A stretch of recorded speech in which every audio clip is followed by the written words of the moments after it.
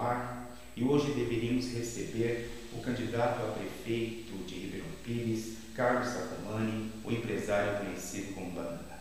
O mesmo se recusou a estar participando da série de entrevistas que estão sendo realizadas por este veículo de imprensa. Dando direito e conhecimento ao que ele teria, vamos passar as perguntas que seriam feitas ao candidato, para que a população soubesse quais são as propostas para o desenvolvimento. A primeira pergunta, que é padrão a todos os candidatos, é sobre a questão o que os motivos, na verdade, que levam ele a ser candidato a prefeito de Ribeirão Pires. A segunda pergunta é ligada à educação.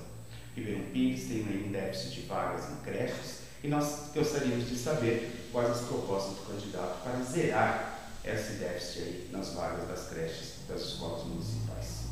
A terceira pergunta é ligada à saúde. Nós sabemos que nos últimos quatro anos Ribeirão Pires teve sérios problemas e denúncias na área de saúde. Nós gostaríamos de perguntar ao candidato o que ele faria diferente, o que ele traria para Ribeirão Pires para melhorar o setor para a população.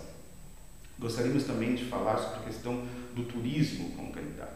Né? Ribeirão Pires é uma cidade, é uma estância turística onde as pessoas vêm no encontro aí grandes atrativos para passear na cidade, para permanecer na cidade. Então gostaríamos de saber do empresário Banana o que ele faria para mudar isso, para atrair as pessoas aqui para a nossa estância.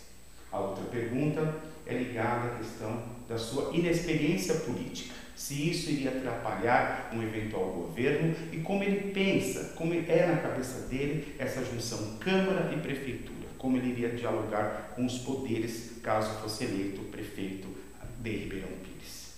A outra pergunta, a sexta, na verdade, das perguntas é ligada ao meio ambiente.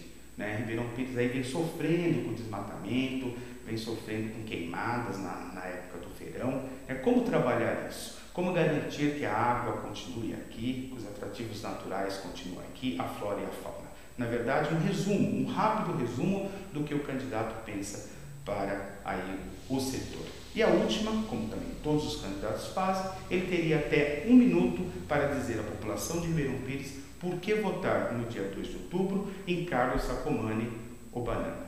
Como vocês podem perceber, o candidato não está aqui, ele não veio, não respondeu. Apesar da Folha tentar por inúmeras vezes trazer o candidato para responder essas e outras questões. A vocês que acompanham a nossa rodada de entrevista, muito obrigado e vamos reiterar novamente: o convite foi feito e foi negado. E assim a população não irá conhecer as propostas do candidato a prefeito Até a próxima.